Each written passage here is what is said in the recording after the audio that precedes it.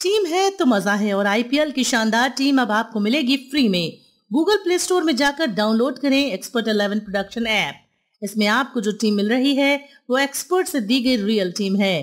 तो जल्द डाउनलोड करें और अपने दोस्तों के साथ शेयर भी करें। एक्सपर्ट टीम है तो मज़ा है।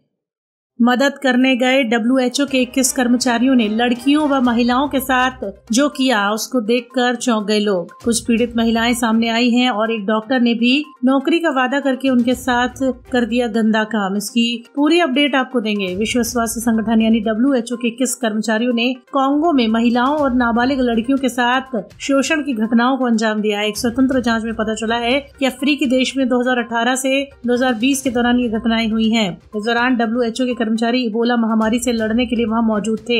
इस घटना पर डब्ल्यू प्रमुख टेड्रोस एडनम ने दुख जताया है। उन्होंने कहा उनकी प्राथमिकता सबसे ऊपर है कि गुनाह करने वालों को सजा मिलनी चाहिए। हॉस्पिटल में भर्ती महिलाओं के साथ यौन हिंसा की गई। तिरासी ऐसे लोगों का पता चला है जिन्होंने उस दौरान महिलाओं का शोषण किया, जिसमें 21 लोग डब्ल्यू के कर्मचारी थे। पीड़ित महिलाओं ने बताया कि उनके ड्रिंक में नशीली चीज़ें मिलाकर दी जाती थी और कुछ महिलाओं का तो नौकरी देने के नाम पर वादा करके भी शोषण का शिकार बनाया गया। पीड़ित महिलाओं ने बताया कि इस हमले के दौरान आरोपी कॉन्ट्रासेप्शन का इस्तेमाल भी नहीं कर रहे थे। बाद में एबॉर्शन का दबाव बना रहे थे। कुछ पीड़ित महिलाओं ने बताया कि एक डॉक्टर ने भी नौकरी का वादा करके उसके साथ इस तरह की घटना को अंजाम दिया है। इस लड़की की उम्र मात्र तेरह साल थी। दोस्तों, इस तरह की घटनाओं को सुनकर कमेंट में क्या कहेंगे? कमेंट सेक्शन में ज़रूर बताएँ। वीडियो को लाइक और शेयर करना ना भूलें। धन्यवाद।